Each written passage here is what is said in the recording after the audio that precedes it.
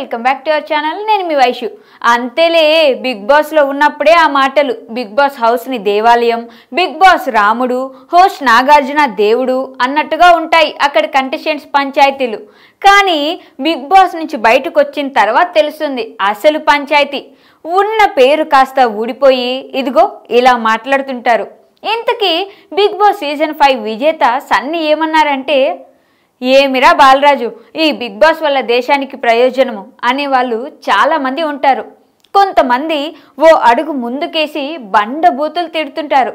అయితే బయట నుంచి చూసేవాళ్ళు ఆ షోతో ఏం ఉపయోగం అని అన్నా పర్లేదు కానీ బిగ్ బాస్కి వెళ్ళి ఆ బిగ్ బాస్ షోతో పాపులర్ అయిన వాళ్ళు కూడా బిగ్ బాస్ వల్ల ఏం ఉపయోగం అంటే మాత్రం అది కాస్త ఆలోచించాల్సిన విషయమే. బిగ్ బాస్ సీజన్ ఫైవ్ విజేత విజయ్ సన్నీ కూడా ఇలాంటి కామెంట్సే చేశారు. బిగ్ బాస్ వల్ల తనకి పేరు వచ్చిన మాట వాస్తవమే అని. కానీ చాలామందికి తాను బిగ్ బాస్ విన్నర్ అని చెప్తుంటే బిగ్ బాస్నా అంటే ఏంటి? అని అడుగుతున్నారని వాపోయాడు. ఓ పెద్ద డైరెక్టర్ కూడా తనని ఇలాగే అడిగారని.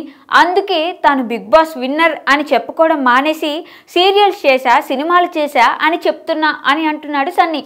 అట్టుంటది మరి బిగ్ బాస్ అంటే.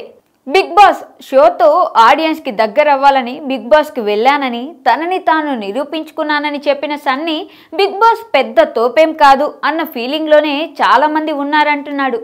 అందుకే తాను బిగ్ బాస్ సన్నీ అని చెప్పడం మానేసి జస్ట్ సన్నీ అని చెప్పుకుంటున్నా అన్నాడు.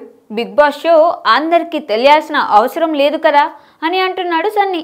అయితే మనోడు చెప్పిన దాంట్లో కూడా వాస్తవం లేకపోలేదు. మిగతా భాషల్లో బిగ్ బాస్ సంగతి పక్కన పెడదాం. తెలుగులో ఇప్పటి వరకు ఓటీటీ బిగ్ బాస్తో కలుపుకొని ఆరు సీజన్లు నడిచాయి. తొలి సీజన్లో శివబాలాజీ రెండో సీజన్లో కౌశల్ మంద మూడో సీజన్లో రాహుల్ సిప్లిగంజ్ నాలుగో సీజన్లో అభిజిత్ ఐదో సీజన్లో విజయ్ సన్నీ ఓటీటీలో బిందు మాధవి విజేతలుగా నిలిచారు.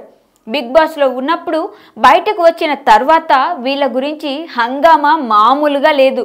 వీళ్ళ కోసం తెగ చొక్కాలు చిప్పుకున్న కీబోర్డ్ వారియర్స్ని చాలామందిని చూసుంటాము. ఆ కౌశల్ మందా కోసం అయితే ఏకంగా ఆర్మీలు ర్యాలీలు అబ్బో! బాబుగారికి బిల్డప్ మామూలుగా ఇవ్వలేదు. కానీ ఇప్పుడు వీళ్ళలో ఒక్కరికి కూడా సరైన సినిమాలు లేవు.